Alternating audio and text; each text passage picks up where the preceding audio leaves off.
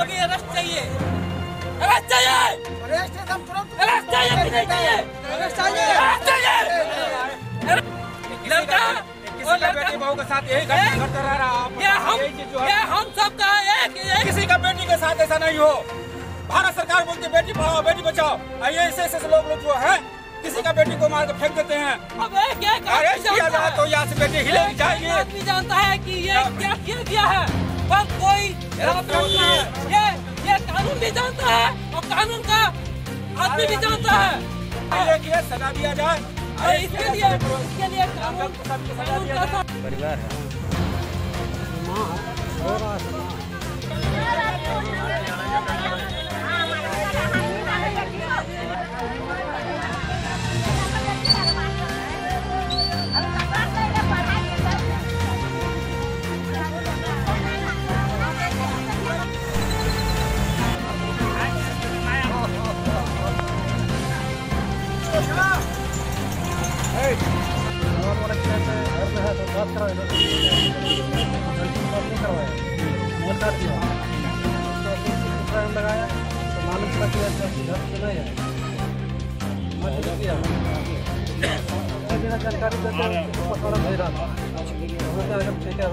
दिया है दामोदर नदी के किनारे और हमेशा ये लोग मैंने प्रयत्न करते रहता था। मैंने डिमांड तो नहीं, लोग मैंने मारपीट हमेशा करता था।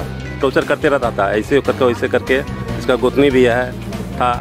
वो लोग हर समय टॉर्चर करते रहता था, झगड़ा का हर- समय, खाने पीने का समय में भी कुछ में कुछ ना कुछ करते रहता था। अभी हम मांग कर रहे हैं कि मेरा जब तक यहाँ से मैंने लोग अरेस्ट नहीं कर ले, तब तक लास्ट उठ उठ उठ, उठा कर जाने नहीं देंगे, उठ कर शादी 2019 में हुआ था। लड़का का नाम है विजय रजक और लड़की का पिता, लड़का का पिताजी है खाड़ू रजक।